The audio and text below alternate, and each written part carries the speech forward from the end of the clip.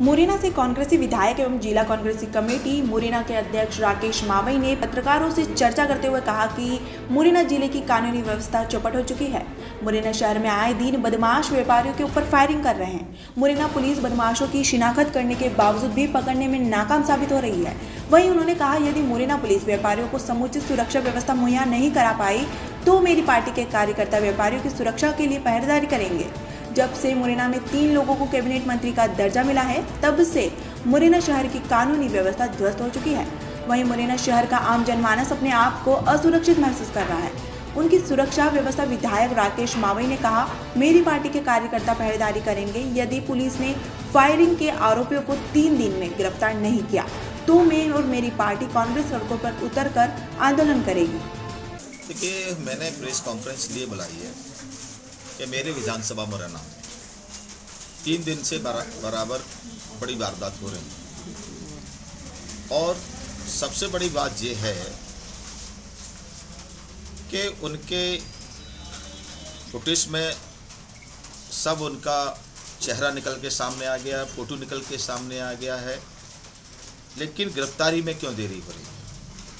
मैंने कहा था दोनों टीआईओ से आज एसपी साहब से भी बात हुई मेरी। मैंने कि जब आपके पास फुटेज है तो अगर आप उसको मीडिया के सामने ओपन करो। अगर मीडिया पूरे उसको छापेगी, उसका फ़ोटो छपे तो निश्चित तौर पर कोई बहुत बड़ा दूसरे देश से आने वाला व्यक्ति नहीं होगा मुरैना का ही होगा, आसपास का होगा दो चार किलोमीटर। तो सारी चीज़ सामने आ जाएगी। इसको क्यों छुपाया जा रहा है? इसके लिए हमने तीन दिन का उनको समय दिया। तीन दिन के अंदर जिन्होंने जो वारदात की है बूट चावला पर और गजक सिवरी पर।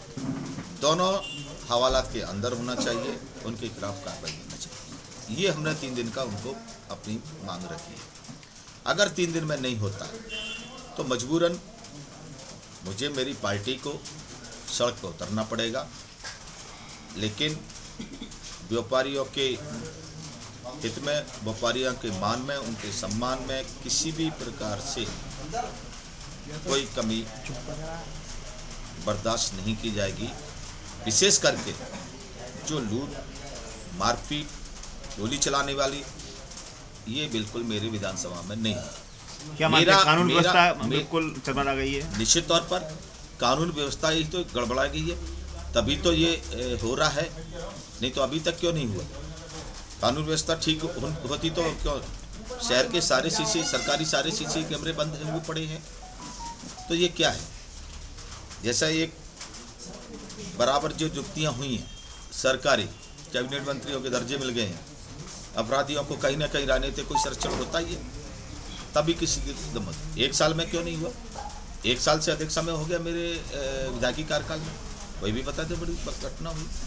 क्योंकि अपराधी होता है व्यक्ति होता है वो किसी समाज का नहीं होता किसी जाति का नहीं होता किसी वर्ग का नहीं होता है उसके खिलाफ तो एक्शन होना चाहिए। और मैं तो चाहता हूँ कि मेरे विधानसभा में किसी भी प्रकार की गुंडागर्दी व्यापारी या आम व्यक्ति की किसी भी किसी के आ, आ, के ऊपर दबाव और बदमाशी को बर्दाश्त नहीं। मुरैना से देवेंद्र सिंह राजपूत की ये रिपोर्ट।